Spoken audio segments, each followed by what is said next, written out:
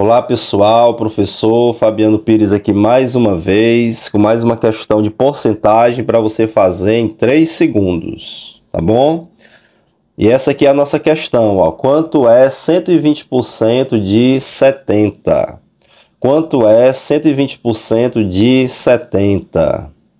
Aí note que a gente está aqui em 120%. Obviamente, 120 é 100 mais 20, ou seja, o resultado vai ser maior do que 100%. E quanto é 100%, pessoal?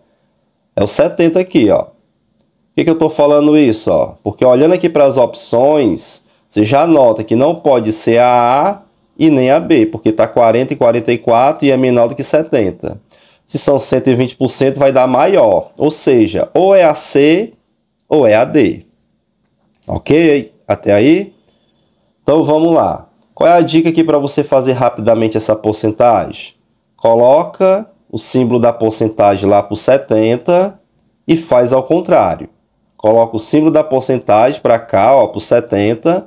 Em vez de fazer 120% de 70, faça 70% de 120.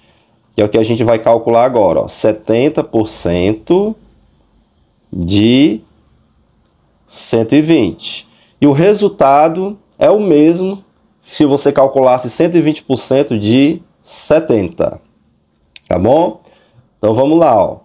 Vamos calcular aqui os 70% de 120. E para fazer esse cálculo aqui rapidamente, pessoal, basta escrever aqui o 70 como a soma de 50%. 70% é a mesma coisa que 50% mais 10% mais 10%. Ok? 50, 60, 70. E por que, que eu estou escrevendo assim, dessa forma? Porque essas porcentagens aqui, 50% e 10%, são fáceis de achar. 50% é a metade. Metade de quanto agora? De 120. E a metade de 120, 60. 10% de 120 também é fácil de calcular. Ó. Quando você quiser calcular 10% de qualquer valor, basta fazer assim. Ó. Por exemplo, tem aqui o 130. Aí você tem a unidade, a dezena e a centena. Para calcular 10% de 130, basta colocar aqui uma vírgula entre a dezena e a unidade. Ou, em outras palavras, à esquerda aqui ó, do algarismo das unidades. Quanto é 10% de 130? 13. Outro exemplo, ó, 223. Quanto é 10% de 223? Coloca a vírgulazinha aqui, ó, após a unidade e dá 22,3. Isso aqui é 10% de 223. E é o que eu vou ap aplicar aqui na nossa situação. Tá bom? Deixa eu apagar aqui, ó. E vamos fazer. Eu quero então 10% de 120. Quanto é 10% de 120, pessoal? Ora, basta colocar a vírgula aqui após a, a unidade. Ficou quanto? 12. Então aqui é 12 e aqui é 12. Ou seja, desse lado aqui, somando, eu tenho os 70%, que é o que eu quero. E obviamente, se eu somar aqui também, vai ter o resultado desse 70%, que é o que eu vou fazer agora. Vamos somar 60 mais 12 mais 12. 2 mais 2, 4. 4 mais 0, 4. 1 mais 1, 2, mais 6, 8. Ficando então 84, que é a alternativa D de dado. Ok, pessoal? Espero que tenham entendido, espero que tenham gostado. Qualquer coisa, qualquer dúvida, coloca aí nos comentários, tá bom? Não se esqueça de se inscrever no canal, dar o teu like e compartilhar esse vídeo com mais pessoas.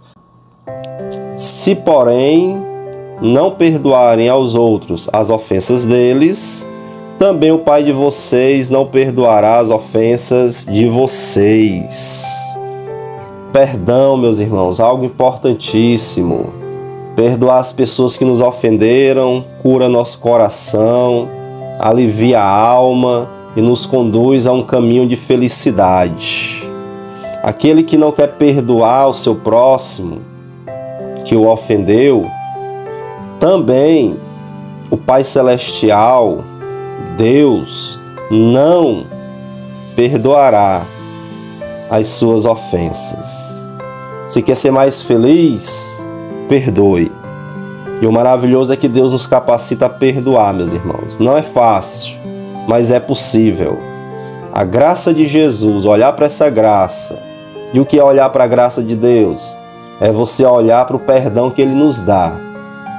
E saber que Deus me perdoa, me ajuda a perdoar aqueles que me ofendem. Porque se Deus perdoa os meus pecados, meus irmãos, quem sou eu para não perdoar os meus ofensores? Somos devedores uns dos outros e devemos o que? O perdão. Então, em primeiro lugar, receba esse perdão de Deus na tua vida que te salva, que te liberta, e ele vai te ajudar a perdoar aqueles que te abandonaram, que te ofenderam, que te caluniaram. Tá bom? Fica com essa mensagem de perdão no teu coração. E se Deus tem insistido em falar contigo sobre o perdão, é porque tem algo aí a ser tratado na tua alma. E o Senhor que sara, o Senhor Jesus, o médico dos médicos, que cura as almas dos homens pecadores, quer te curar. Que Deus abençoe, bons estudos e até o próximo vídeo.